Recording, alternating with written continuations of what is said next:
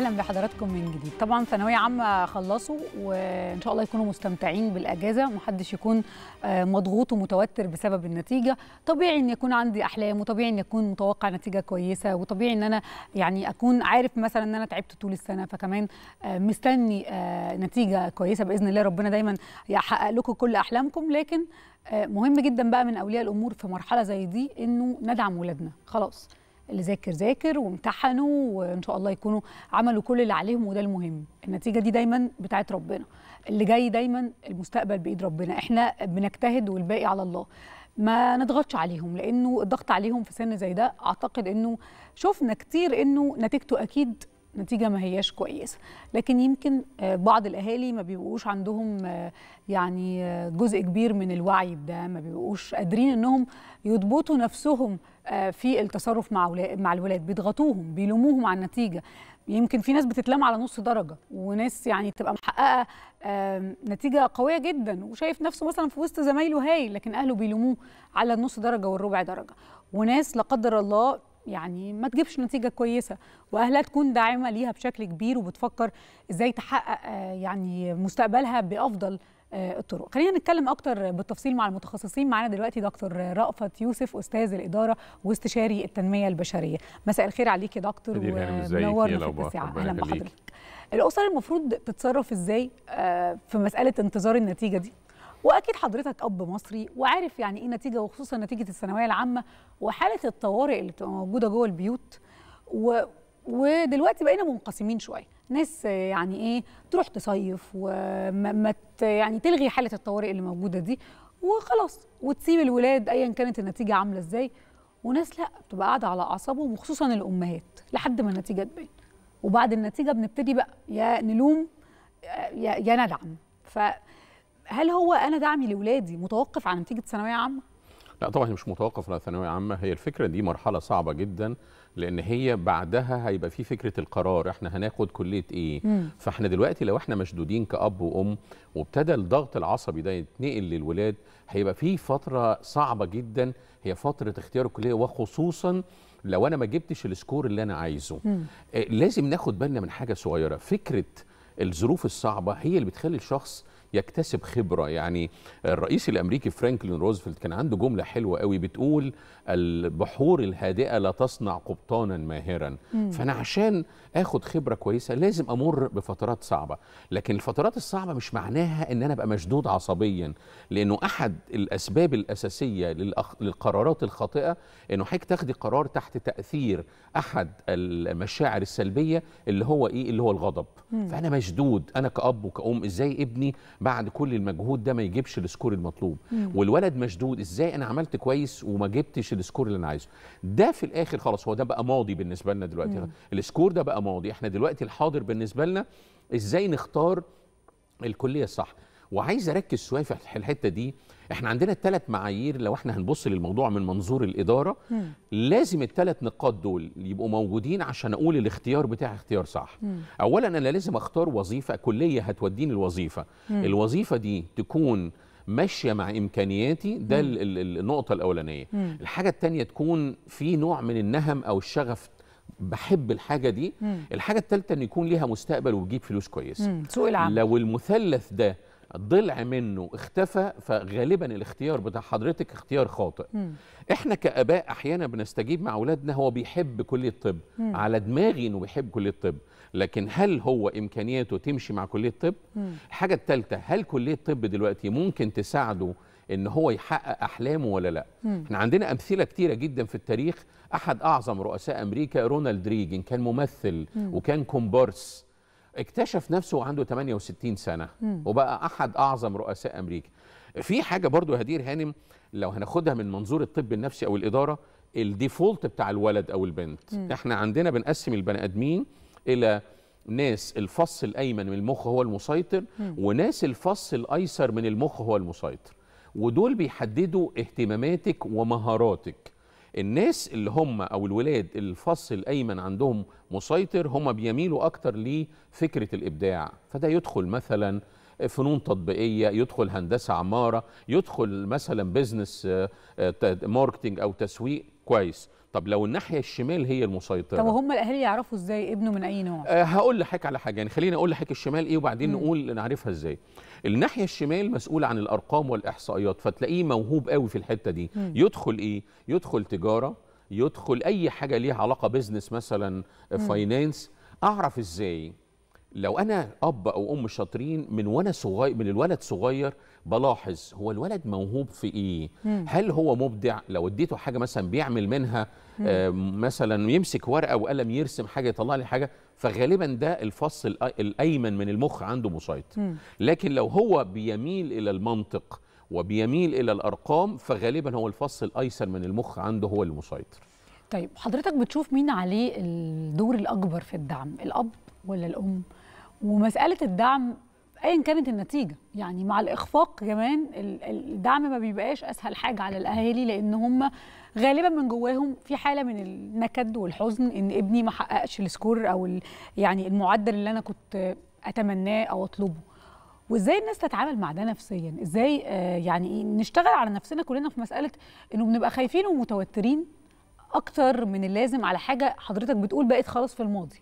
ده خلاص ما يتوقع مم. هو الدعم المفروض يبقى من الطرفين من الأب والأم الفكرة أكتر حد بيقدر يدي دعم للولد هو أكثر ال- الطرفين ثقافة مم. يعني بمعنى هو حتى حك... لما تيجي تشوفي في الطب النفسي دلوقتي هو ليه في فجوة كبيرة بين الولاد وبين الآباء مم. عشان الأب والأم آه، مستوى الثقافة بتاعه قل قوي وبقى قديم قوي دقة قديمة فيجي الولد يقول لباباه طب أنا أختار مثلا تجارة ولا اختار مثلا ألسن مم. يقول له حبيبي اللي انت شايفه كويس يعني إيه حبيبي اللي انت شايفه كويس مم. أنا مفروض دعمي ليك مش مجرد بالفلوس أو بإن أنا قاعد جنبك بقول لك ما تزعلش دعمي ليك إن أنا أقدر أحلل لك دي ممكن تبقى إيه ودي ممكن تبقى إيه وبالتالي لو الابن بياخد قرار خاطئ عندي أب وأم عندهم وعي الكلمة الحلوة اللي حضرتك. قلتيها في الأول وعندهم ثقافة فيقدروا يساعدوه لأنه أحيانا الولد بيبقى شايف مثلا أصل أنا بحب الماث. أنا متهيألي إن إن اللي خلص ثانويه عامة ده سنه صغير قوي على إنه يقرر هو. يشتغل إيه. دي حقيقة. محتاج نوع كبير جدا من الإرشاد. إرشاد آه، كمان مبني على معلومات زي ما حضرتك كنت بتقول. إمكانياته إيه؟ سوق العمل محتاج إيه؟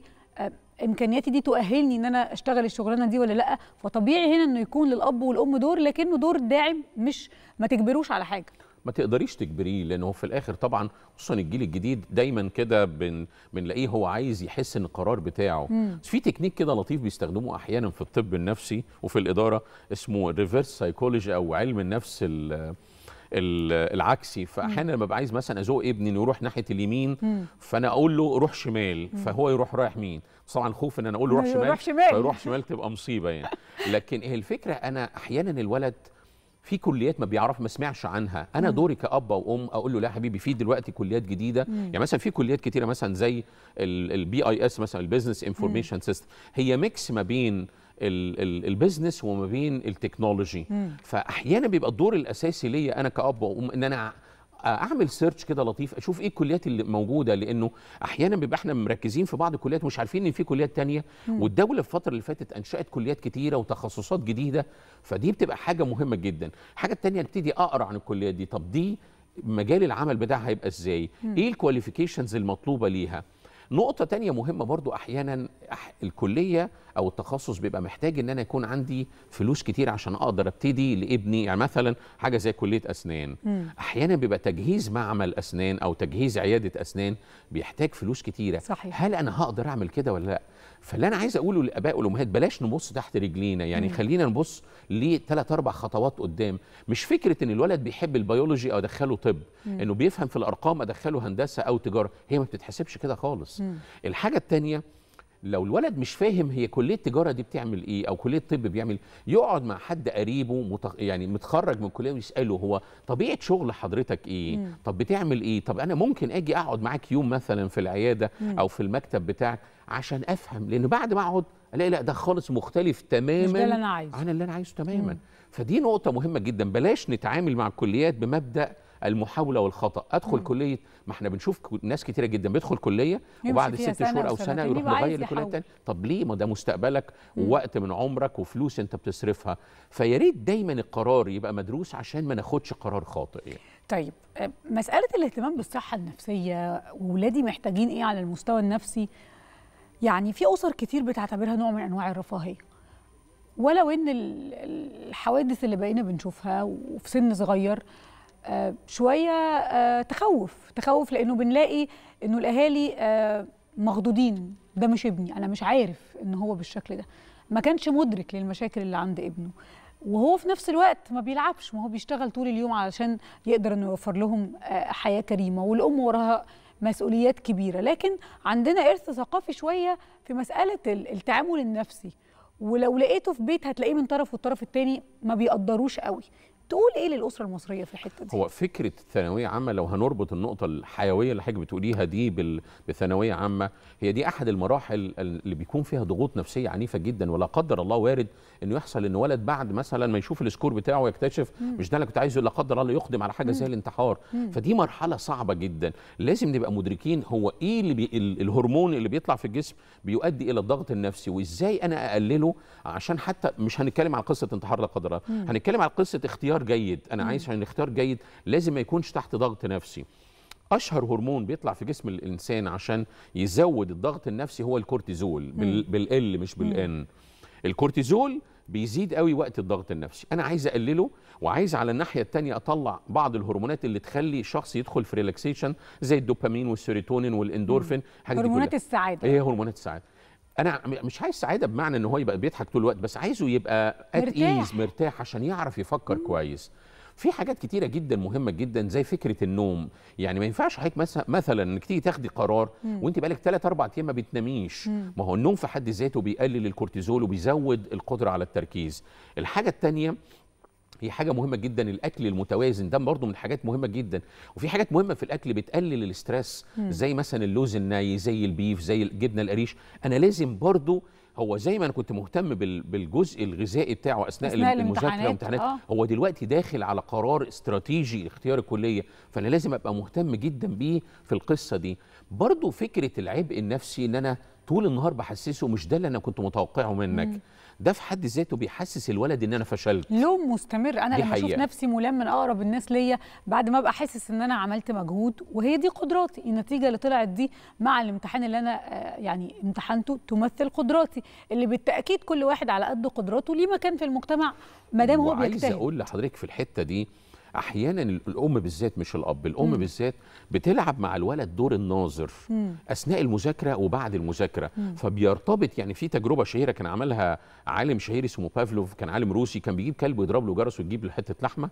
ومع تكرار ضرب الجرس للكلب ارتبط الجرس مع الكلب بحتة اللحمة. أنا مش عايز الأم ترتبط مع الولاد بفكرة اللوم أو اللي إحنا بنقول عليها بالبلدي النقرازه ما هو شوف فلان جاب كام وأنت جبت كام. ده في حد ذاته بيخلي الولد مع الوقت يكره سيرة الأم أو يكره يشوف الأم. طب تيجي تقول الام أصل الولد ما بيسمعش كلامي مش عايز يدخل الكل. طب ما هو عشان أنت وصلتي لمرحلة بقيتي مرتبطة لا شعورية عند الولد بإيه؟ بالنقد. لا أنا عايز أبقى أنا كأب أو أم. هي برضو عشان ما نظلمش الأمهات هي المسؤولية بتقع بشكل كبير في موضوع المذاكرة ده على الأم.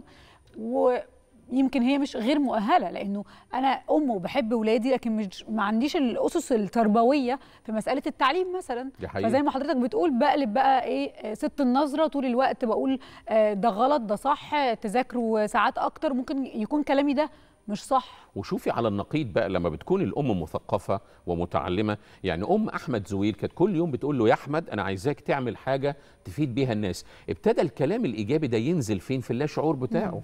آه واحدة مثلا زي روز كينيدي اللي هي أم الرئيس آه آه جون كينيدي كانت بتقول كانت كاتبه له على باب أوضته وهو عنده ست سنين Mister President يعني الرئيس.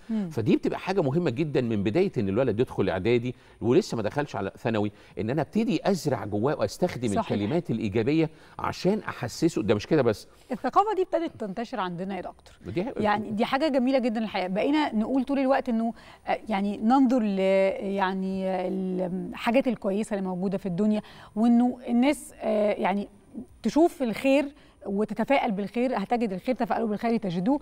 لكن مسألة كمان إنه نركز على ده ونقوله لبعض. بيفرق معانا نفسيا وبيفرق معانا بطريقة إيجابية طبعا جدا ده أنا كمان عايز أقول لحضرتك حاجة صغيرة لو حضرتك لقيتي ابنك مثلا بيحب الطب وهو مم. لسه في ثانوية عامة حطي له صورة مجدي يعقوب أو محمد غنيم وقولي. له أنا عايزاك. تبقى زي كده مع الوقت هيبتدي الحلم ده يتزرع جواه فمع مم. الوقت خلاص هو يعني حتى والت ديزني كان قال حاجة مم. قال if you can dream it you can do it يعني لو مم. حلمت بالحاجة هتعملها أنا عايز أتكلم مع نفسي بشكل إيجابي إن أنا إن شاء الله هعمل الحاجة دي مم. أبو القاسم الشابي كان عنده مقولة حلوة جدا قال لك من يتهيب صعود الجبال يعيش أبد الدهر بين الحفر. صحيح. يعني طول ما أنا شايف نفسي صغير عمري ما هكبر أنا لازم أشوف نفسي كبير. فدي حاجة مهمة جدا. إن شاء الله يعني بنتمنى آه، النجاح لكل آه،. الناس اللي طالعة من ثانوية عامة وبنتمنى لهم كمان الهدوء والراحة والبعد عن التوتر لأن زي ما حضرتك بتقول الموضوع مش نتيجة ده لسه في قرار بعد النتيجة مهم جدا إن كل الأسرة مش بس الطالب ثانوية عامة يتحلوا بالصبر كده والهدوء وهم بياخدوا هذا القرار دكتور أشرف دكتور رأفت يوسف أستاذ الإدارة واستشاري التنمية البشرية أنا بشكرك شكرا جزيلا على كل الطاقة. الإيجابية اللي اديتها لنا النهارده ربنا يخليك شكرا. جزيلا يا دكتور. رأفت دلوقتي مشاهدينا نروح مع حضراتكم لفاصل بعد ونكمل الكلام مع حضراتكم.